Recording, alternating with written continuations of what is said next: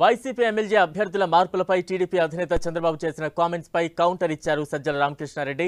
చంద్రబాబు గతంలో నియోజకవర్గం మారలేదా? పవన్ లోకేష్ అంతా సొంత జిల్లాలోనే పోటీ చేస్తున్నారా అని ప్రశ్నించారు. గెలుపు వ్యూహాల్లో భాగంగా మార్పులు ఉంటాయని సజ్జల స్పష్టం చేశారు. ప్రాంతీయ పార్టీలలో నేతను చూసి మాత్రమే జనం ఓట్లు వేస్తారని అన్నారు. ఇంకా మారడు సీట్లు మారడు గురించి మారట ఏదో అంటున్నాడు ఆయన అంటే నాకు అర్థం కావట్లేదు ఆయనకే ఉన్న కాన్స్టిట్యూన్సీ చంద్రగిరి తన పుట్టిన దగ్గర నుంచి పోయి కుప్పం పోయినాడు బీసీల సీటుకు పోయినాడు.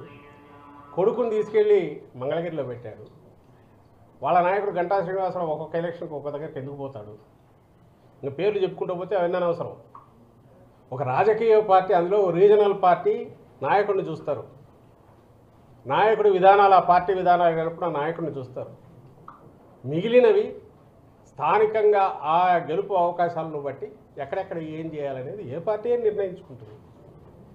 నీకు ఏం చేయాలనో అర్థం కాక నీకు అసలు నీ పొత్తు గురించే నీకు తెలియదు. అసలు పవన్ కళ్యాణ్కి ఎన్ని సీట్లు ఇస్తున్నావో తెలియదు. ముఖ్యమంత్రి ఎవరో తెలియదు.